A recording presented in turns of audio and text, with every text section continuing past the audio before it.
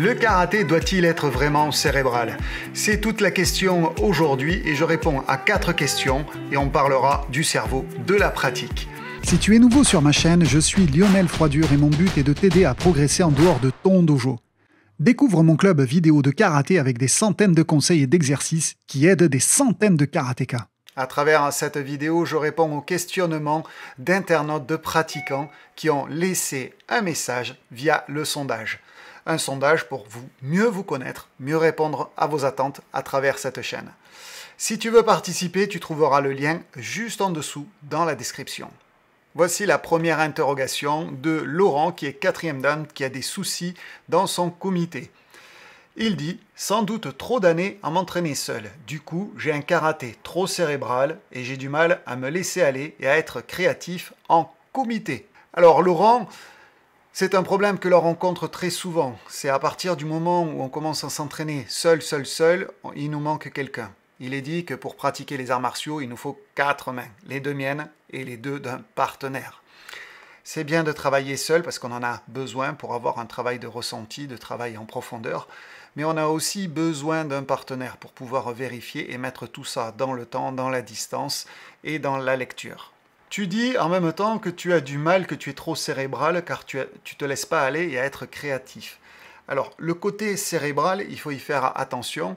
En comité, on n'a pas trop le temps de réfléchir. On peut réfléchir, mettre en place sa tactique quand on est à longue distance avant de rentrer ou de voir que ça passe pas et j'essaye de contourner ce problème et trouver la meilleure des solutions.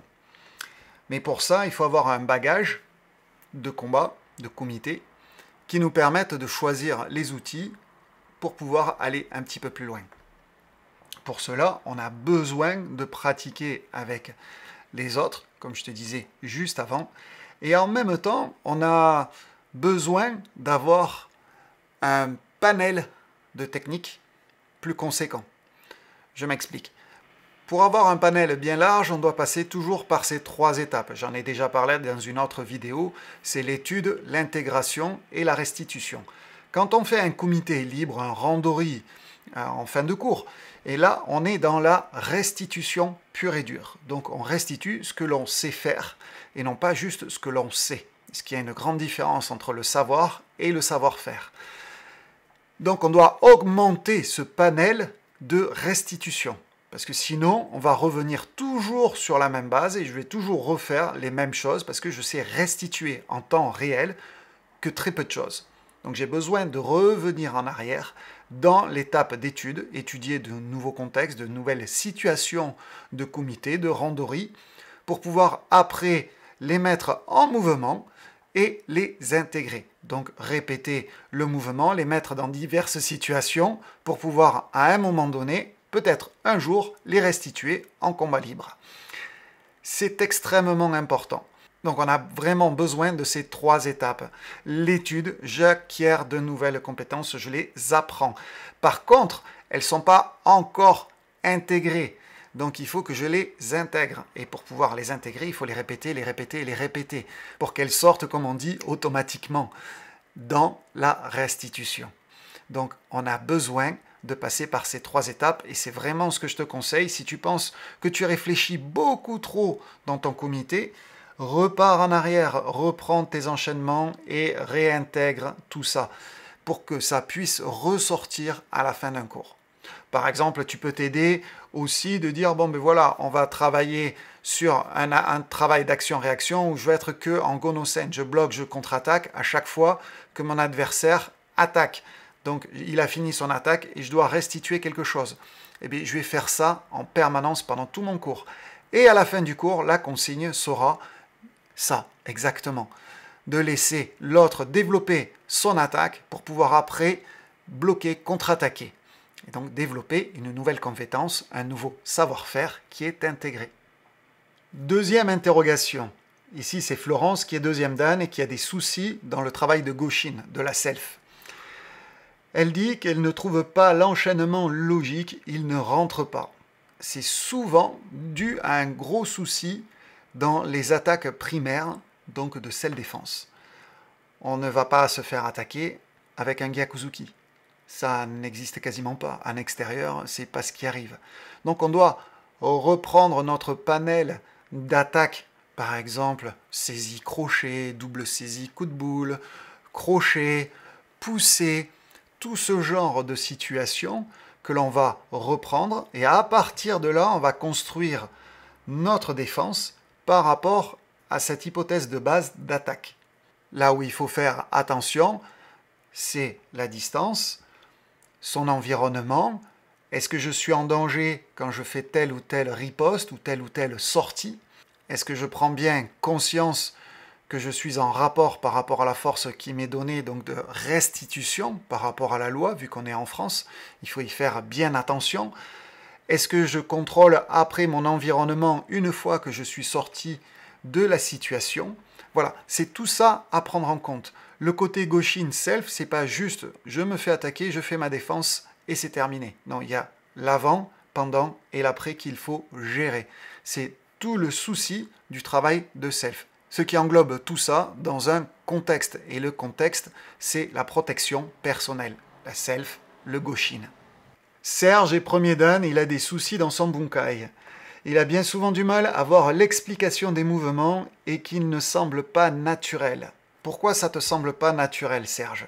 Je me demande bien si c'est pas parce que le type d'enchaînement qui t'est proposé en face en guise d'attaque ne te correspond pas ou que c'est absolument pas logique et que ton partenaire euh, ben, il est un peu gauche parce que l'enchaînement est pas naturel. Donc forcément pour toi, tu vas avoir une défense qui va coller au kata, mais qui en réalité euh, ne donnera lieu à rien du tout, vu que ça, ça part d'une hypothèse qui n'est absolument pas bonne.